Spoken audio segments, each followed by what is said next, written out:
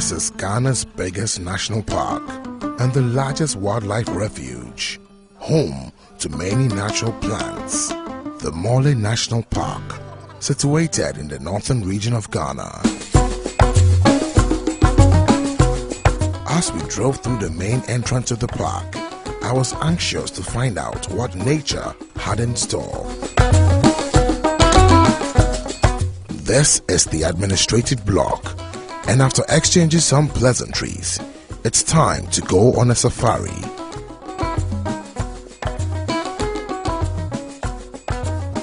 My tour guide, by name February, was on standby to receive the crew. I realized he had a gun, and I was curious to find out why.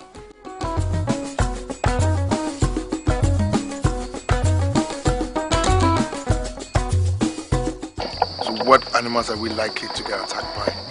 Possibly. Cannot mention any. Whoa, what kind of animals do you have in there?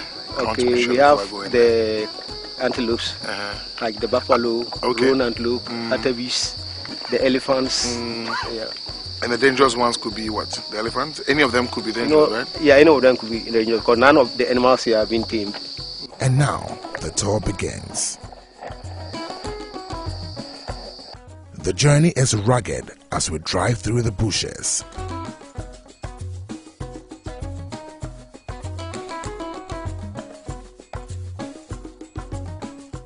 Finally, we arrive at a spot where we are told there is a pond nearby where the elephants often come to bath in the afternoons.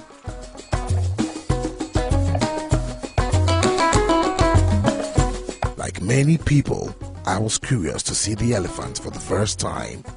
Not so far away from us, I spot some strange animals. Warthogs, what we normally call bush pigs.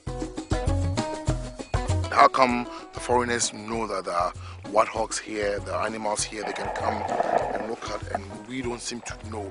Because honestly, like I told you, I've, seen these creatures only on TV. You know, there are cartoons of these. Uh, there's the cartoon called Timon and Pumbaa. And I think Pumbaa was was the was a warthog, the bush pig. Yeah. I never knew that we had warthogs here in Ghana. When it enters, it's entering a hole. It goes with the with the back. Yeah, it goes to the back, why is that? so that the The snout. the tags Okay. will serve as its defense in case of any attack by the lion or the leopard or the hyena. Oh, so these are also endangered species. Yes, Clearly. they are in the water. now. And It was a great experience learning about warthogs and time to move on in search of elephants. The very first sign of their existence which I saw was the giant footprints. Finally, behold two elephants, a sight and an experience one will relish for a lifetime. they haven't seen us. No, no, you know, it has a foresight. So the trunk mm-hmm. serves as the that is the most sensitive part of the elephant. The trunk. So the trunk. So you use it in drinking, eating, and at the same time to smell. Mm. So when they take our smell, you see how it's curling it, throwing it up. When you take our smell now, it will uh, move. So normally when we are with tourists, we try always to take the wind direction. So we always take the direction of the, the smell of the, of the elephants. Yeah. So now I can see that now we are taking their smell. That is why they are so uh, standing. The Okay. smell is now the Okay, so it means that if we possibly if, we possibly change direction and the wind blows towards them into their trunks and they can smell us, yes they'll they'll- quickly move. They'll move. Now, which direction would they be moving possibly? Towards us? No. Defense or running away? Move away, not towards us. They'll move away. Oh, really? So, have you had situations where some of these elephants, you know, were injured or sick and all that? You had to kill them? Oh no, that incident has never happened here. Okay. And these are not tame. There's no way. You know, in some places you can have a ride on an elephant's back Yeah. and all that. It's not possible to try to to do this here, is it? Yeah, you can only tame it when it is very young. Baby, yeah, when very it's young. Yeah, but as they are now going to this, So, what, what do they really feed on? What do they feed on? The, the grass? they are grazers and browsers. Mm. So this ele- ele- They're basically herbivores. Yeah. Yeah. And do we have incidents of poaching? Where where they feel endangered? Have, have, have there been such incidents where we Yeah, have you know- poachers coming in? Oh, oh, oh, this is huge. You know, in a conservation area, you, cannot do away with poaching. Yeah. Yeah, but I think now it has been brought to this minimum uh, level. Okay. Yeah. So you- you're saying that you've had incidents of poaching where people are looking for the ivory of the elephants That is some years some back. years back. But Yeah. these, these, these were not Ghanaians, were they? Or they were Ghanaians who were actually They were, them. yeah, they were. Ghanaians. But we don't eat elephants here in Ghana, do we? Oh, we eat. We do eat elephants in Ghana. People eat. Oh, okay. People eat elephants here. Yes, they eat. But elephant sold on our markets? Yes, they sell them in our markets. This is news. I don't know about that We don't disturb them here. at all. And you're saying you have over 400 of them. Yeah, over 400. Oh, that's impressive. And what's the lifespan of an average Uh, elephant here? 60 to 70 years. 60 to 70. In a situation like this where we get spotted by an elephant, so then what? They could send signals to the others and then they could launch an attack. Or it could just on its own begin to attack. So before Or it could will run. attack, hmm uh, sometimes it trumpets. Yeah. Yeah. And uh, the body language of it too can let you know that this animal would like to launch an attack. Mm, so the trumpet is the first signal, So, more like a warning signal.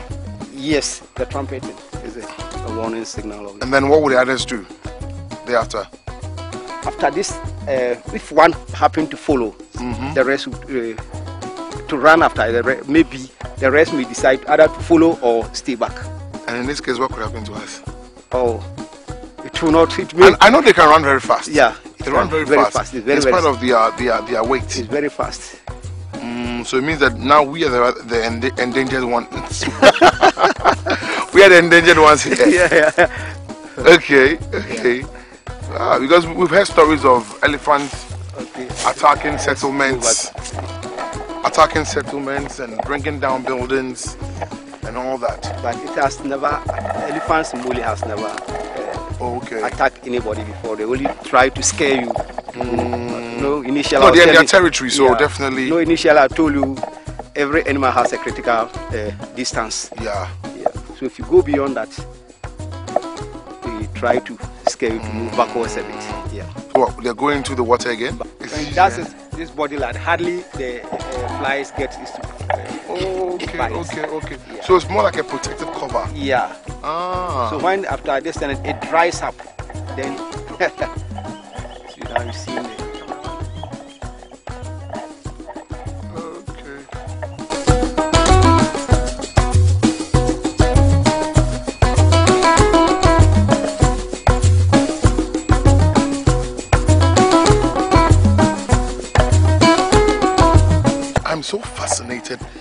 level of protection that the older elephants are given to the younger ones.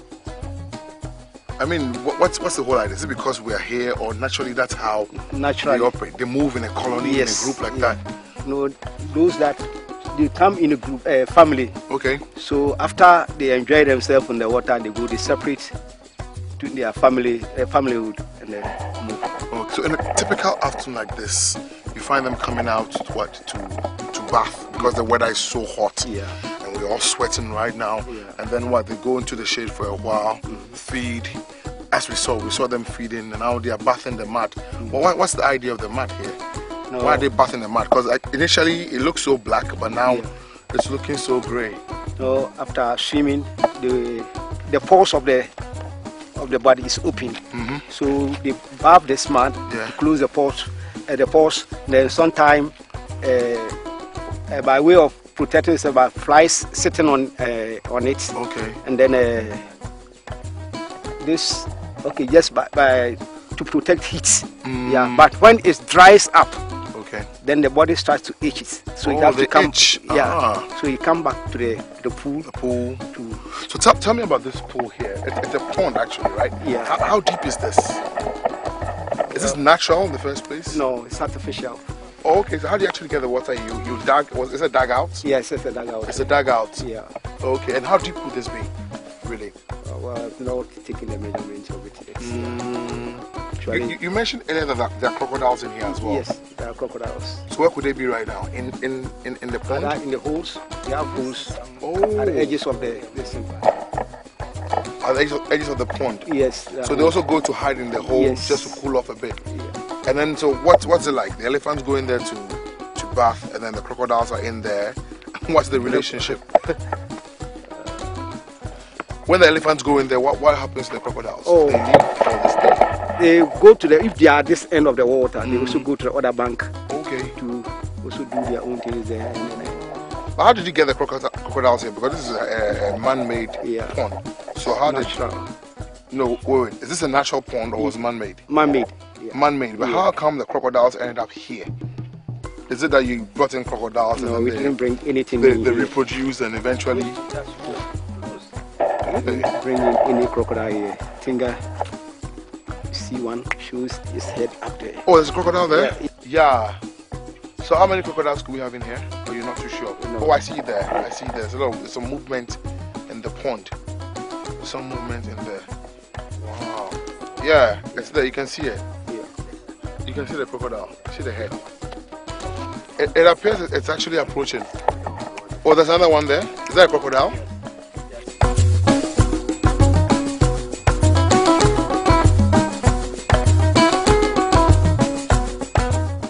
Wait, oh, I can't see it. Okay. Look at It's coming out. It's coming out. Have you seen that? Oh, that ugly thing there. Yeah. We Wow. have a lot of those. Look at even some over there. Yeah. Okay, so if we are patient, we'll see them coming out. Yeah. that is the now uh, they will not look at one here. Where? here. Oh, that's a crocodile.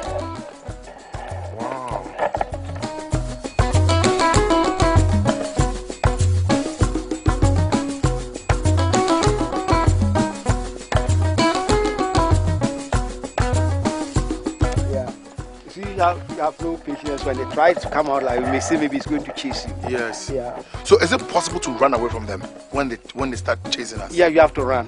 No, I mean I'm looking at I'm trying to appreciate their speed because we're told that elephants run very fast in spite of their weight. They are very fast. You see, uh, the speed uh, limit of is 60 kilometers.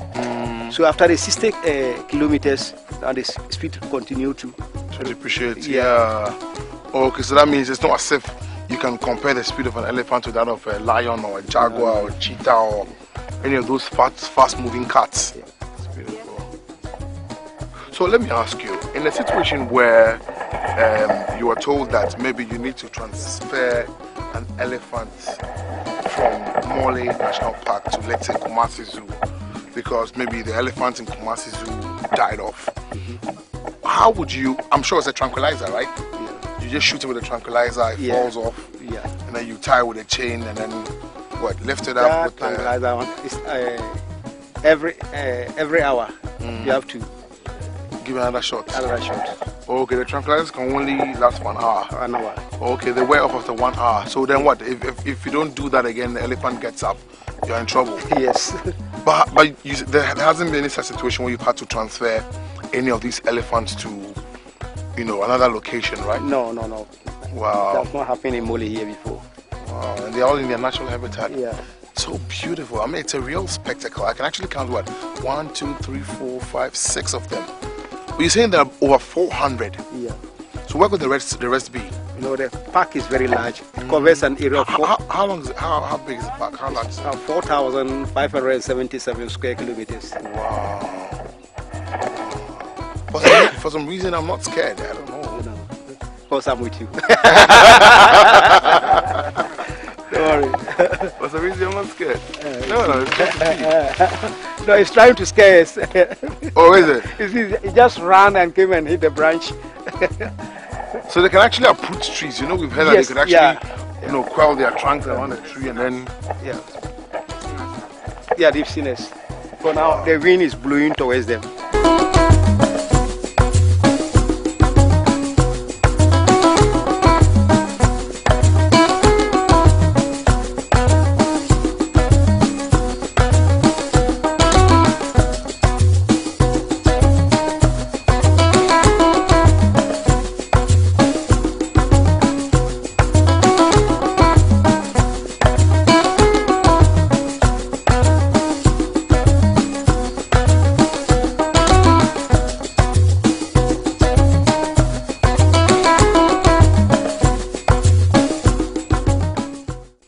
Time to hop into our vehicles and continue our safari through the park and catch a glimpse of other beautiful animals and plant species nature has to offer.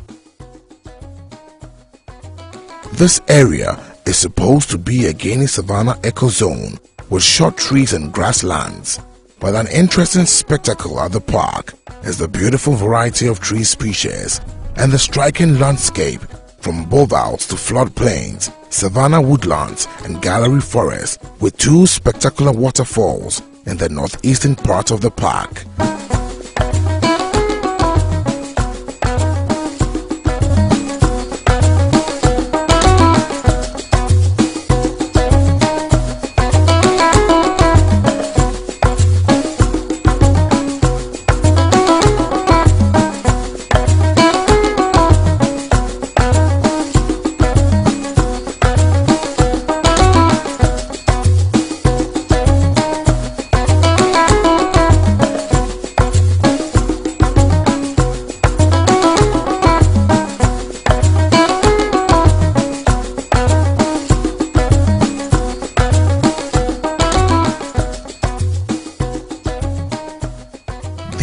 Buffaloes which were spotted at the steep hill plains in the Mole National Park, numbering over 50.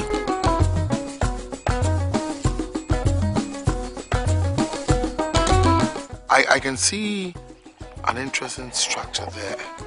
What is this structure? That is the tree height. Tree height Yeah. meant for Uh, for tourists who come here, can be uh, uh, on it. Okay. It's, it's a viewing platform. okay. And then uh, have a view of animals that troop in here to uh, take this uh, salt lake here. Um, how safe is it? Because this is a forest area, snakes, some wild an- I mean, animals. You can actually spend the night here, right? Y- Yes, with an The- arm guide. Oh, okay, with an armed guide. Yeah, Otherwise, it's not too safe to be here alone. alone. Yeah. And what what tree is this is non? Uh, Daniellia olivaris. Daniellia olivares. Yeah. How dangerous could it be if you're here alone with a tour guide, an armed tour guide? Yeah. Uh, it's not even allowed to uh, tourists to move alone in the park. How many of these do you have here? Mm, we have about four of them in the park. Four tree heights. Yeah. hmm So, what kind of animals? You get to see the same animals: the elephants, the warthogs, the birds, the antelopes, and all that. Yeah, sometimes the nocturnal animals like the leopard. Oh, wait, wait, wait, wait. Yeah. There are leopards here? Yeah, we have leopards and hyena. But how, wait, but how safe would it be for one to spend a night here with a leopard or a hyena? You know, That, that sounds scary. most and uh, all the animals here are not all that uh, aggress- aggressive like other places. Because here we don't harm them. Yeah, Yeah, but but these are these are aggressive creatures by nature. I mean, and these are canines, uh, leopard, a hyena. These are dangerous, you know, endangered species. But why would, how, how safe is one when one decides to spend the night just to have an appreciation of these nocturnal animals here? uh, we, that is why before one can pass a night here, we get you uh, armed guide. Okay. Yeah. So we'll take care of you to the following. Uh, So the armed guy doesn't sleep. No, he doesn't. But you get to sleep. you can sleep. Really? And uh, it's, it's no mosquitoes here? Yeah. Well, before one can pass a night here, we have to have a mosquito net. Okay. We tie it here, and then we are we are matched. But then again, there's no place of convenience around, is there? No, we have to dig it. You have to do in the bush.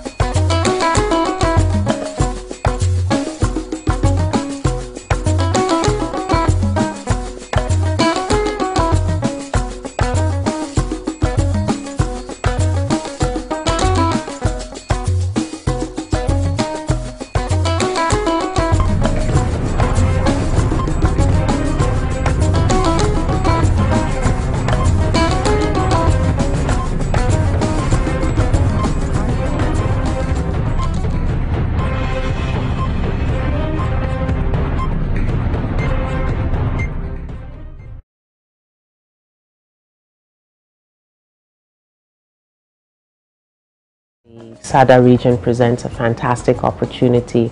Uh, they're a natural um, habitation for all kinds of, of um, birds we're aware of, of different kinds of uh, animals. People are particularly interested in elephants and monkeys.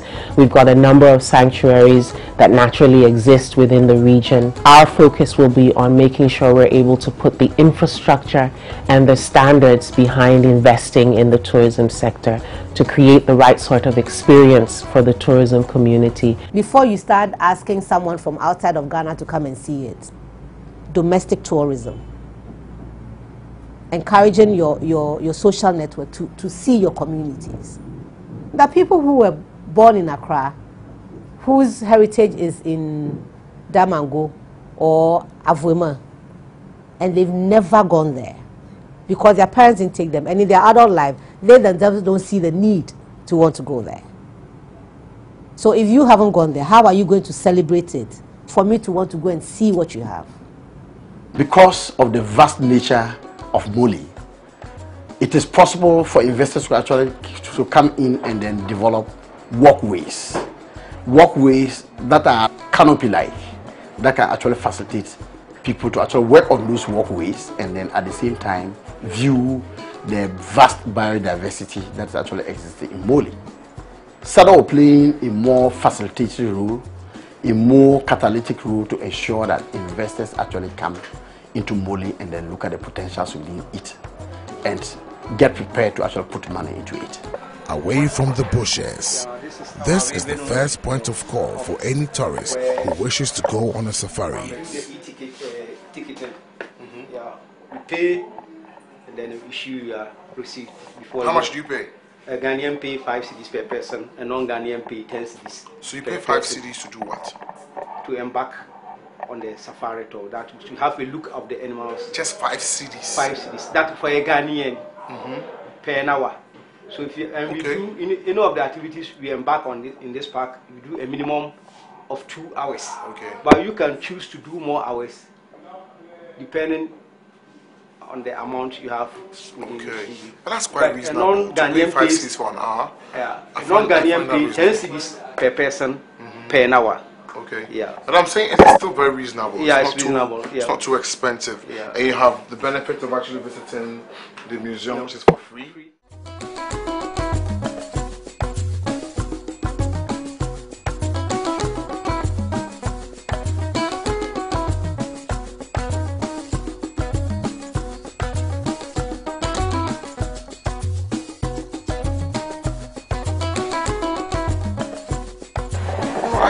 never knew that Mole had such facilities And, uh, here, and I'm, I'm very, very impressed.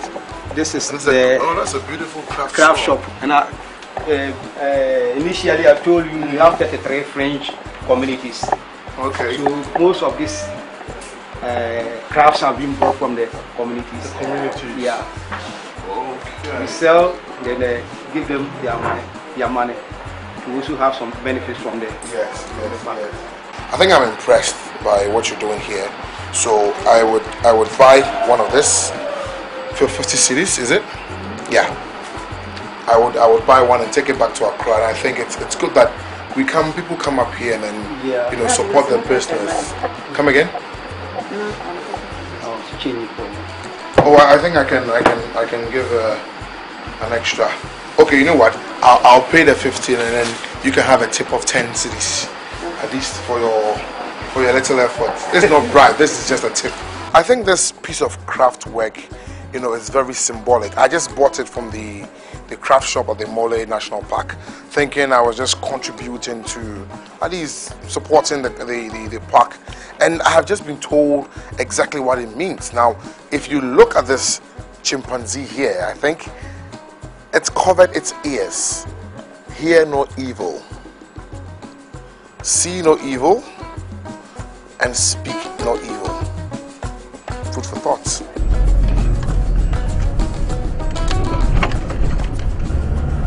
As the sun sets, it's time to say goodbye to a memorable experience at the Mole National Park.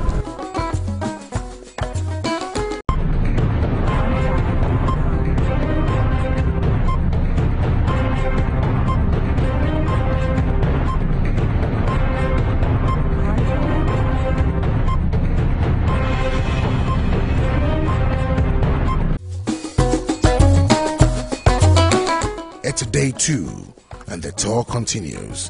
This is the administrative block of the park, and I decide to say hello to management.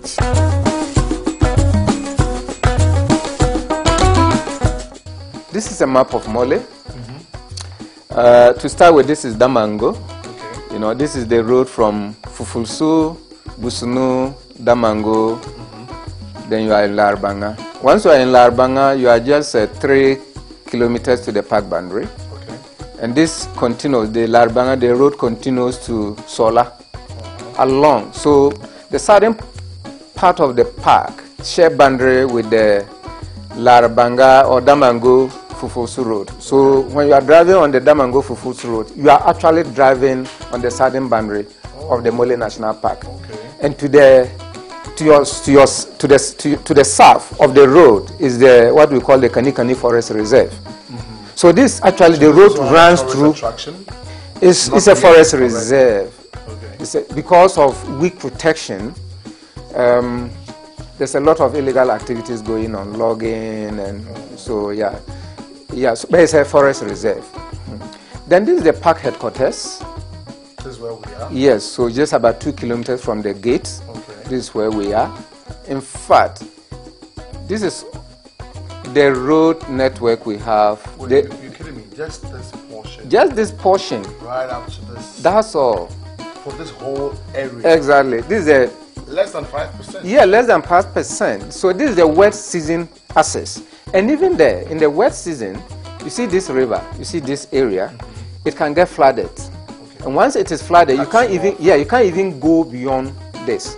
So even the coverage reduces in the in the rainy season. Less. It's about five percent. About five percent. The dry season coverage I'm talking about, then you can continue. You see, this is a mo- the Lovi River. It's a big river. It's, a, it's about 30 meter span. Wow. Then you continue to the Mole River. Mm-hmm. This is the Mole River here. The span is about 40 meter, 40 meter span. Huge river. We need two big bridges on this to be able to make it accessible during the rainy season. So it is only in the dry season when the water levels go down that we can at least manage to drive. And this is Upper West this part. You exit here and you are in Upper West. Why is somewhere there. This is Bullinga, so why is over So there. look, looking at what we see here, ideally it means that we cannot just have one office. We should have about six or seven Exactly. or more offices dotted across the entire uh, uh, landscape. For purposes of protection of the park, we have a big camp here, this camp, Bawina camp, to the east. We have about 22 staff there. Uh, Ducier, we also have about 20, it's a big camp. We have about 22 staff there. yes. Then we, you didn't go there. Oh, we didn't. No, no, no. You, you, you, you Oh, didn't go is there? beyond here. you didn't go beyond this point. Yes. Ducier is in Upper West, far away. It's about, uh, yeah. In the rainy season, if you have to go to Ducier, you have to go to Sawla, you have to go to Wa, then before you come there. In the dry season, it's only 77 kilometers, very short. Two hours, less than two hours drive to that place. dry Then the, if, if you have to go there in the rainy season, you have to travel 300 We kilometers. actually have to exit Exactly. the. Exactly. And then Jang also have a 22 uh, staff there. So this is how we have distributed our staff. Then Paria, we have a small group, 10 people there. They are not there permanent. We move them every three months because, like you see, the whole place is, you know, it says so we have to keep staff there at least to protect the northern part of the park. So in terms of protection, this is how we have distributed, deployed our men. So from their base camp, they now deploy to cover certain bits. Mm-hmm. Why, why do you rotate the men? What's the idea? Here is such a deprived. No, those in Bawina, Ducier, Jang, we don't retreat them. Once in a while, we transfer them. After two years or three years, we transfer them to other camps. But those here uh, is so deprived that, like I said, you have to go through the overseas area to get there. Virtually, there is no any commercial, so we put them there like um, temporary. You go there for three months. You work because your family is here. You leave your family here. You just go there on a, like a duty you go and perform three months, then we pull you, we send another team there, so that we don't leave the place vacant.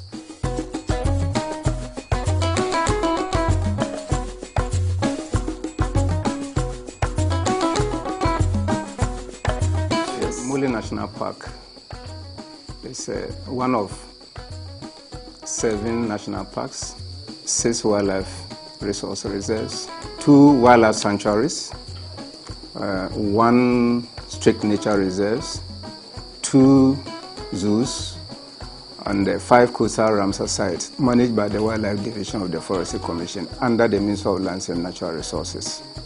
Yeah.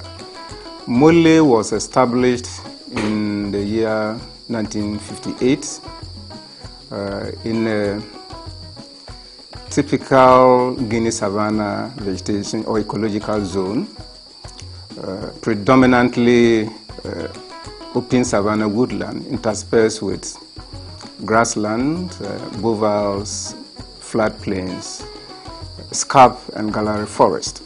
Mole is the first wildlife protected area to be established in Ghana and the largest wildlife protected area in Ghana. It covers an area of 4,577 square kilometers. That is uh, 457,700 hectares. Yeah, and spans two regions, the northern region and the upper west region. The objectives for establishing Mole, just as all the other protected areas, is to conserve the universal outstanding values of the sites. This includes physical, natural, cultural, and historical. Uh, and then to protect and maintain life-sustaining processes such as uh, water catchment, soil conservation, and uh, genetic diversity. Then to create opportunity for research, education, recreation, and tourism. And last but not the least, to generate economic activities within and outside of the park. Mole is endowed with um, rich biodiversity and is home to over 90 mammal species, including five primates, uh, over 300 bird species, 33 reptile species, and then uh, nine amphibians, and 120 butterfly species. And also, in terms of plants, uh, we have about um, 742 vascular plant species have been recorded in the park, some of them endemic. Indeed, Mole has four of what is normally referred to as the Big Five, which is of high touristic interest to tourists. And these are the, the lion, the elephant, the buffalo, the leopard, and the rhino. It is the rhino that we don't have in Mole, but we have the other big five. That is the lion, the leopard, the buffalo, and the elephant. And indeed, the Mole elephants are of special breed. You know, you don't find them anywhere. They are so friendly, they are not aggressive. Annual, you know, visitation of visitors about um, 14,000 tourists per, per year. Indeed, and that was even when the road network leading to from Fufulso or from Sawla to the park was not good. The number could have gone as far as to 20,000 last year, but for the Ebola outbreak, you know, um, they were still recorded up to 14,000 tourists a year. Domestic tourists, but of course, uh, some of the daring forest tourists still made it those who were, who were not restricted by their organizations to visit West Africa still came. But last year we recorded more local tourists than you know um, foreign tourists. But in, in previous years, the, the reverse used to be the case. And I think that that has also been boosted by the, the construction of the road from Fufulso to Sawla. That has you know, improve you know, movement and transportation generally within this corridor. Indeed, the only existing overnight accommodation facility we have in the park is the Mole Motel, which was constructed by the Wildlife Division in 1964. Eh, it's a 35 room capacity. That has even reduced to 34 now because some of the rooms have been converted into storehouse and all of that. Uh, not only is that facility too small to accommodate you know, the increasing number of numbers of visitors that are coming to the park, we're looking at getting the private sector to develop and manage tourist facilities so that we as wildlife division will concentrate on delivering on our mandate which is to protect the park's resources, the integrity of the park. And you know, um, to be able to attract any private investor into investing in those facilities. What is the selling point of Mole? The selling point here is the wildlife. 95% of the tourists to Mole are coming to see the spectacular wildlife we have than the other attractions, whether it's a scenery landscape or whatever. And so no investor would put in his or her money if the, the, the pulling for, that is the wildlife numbers, are not encouraging. And so we think that to be able to attract investors, we should concentrate in the, making sure that the park is secured first and foremost, and then for the animals numbers to, to build up to a level where it will be attractive to, for private investors to come in and then uh, invest in lodge development and management. The animals have what we call home ranges, and you don't restrict. This is not a zoo, and so you don't want to do that. What we can do as a management intervention uh, in building up animal numbers, like I was mentioning, once you give it the park good protection against offtake, against poaching, against other illegal activities that interfere with the animal, once you remove that factor, the numbers will autom- I mean, naturally increase. As a management practice, you can introduce artificial salt. You know, in the dry season, this is a savanna ecological zone. In the rain, in the dry season, most of the river, the water sources get dry up. We live with few pools of, you know, water and few rivers running. So the animals spend a lot of time searching for water and food and this salt. And so they convert their energy, the energy that they would have used to reproduce, they rather use that energy to, to walk around and look for water. So, as a management intervention, if we are able to develop water points across all sectors of the park, develop water holes, and then the salt lakes, and all the habitat requirements evenly, and stop poaching, the numbers will automatically build up. This is Ghana's Northern Savannah Ecological Zone, a place where great things happen.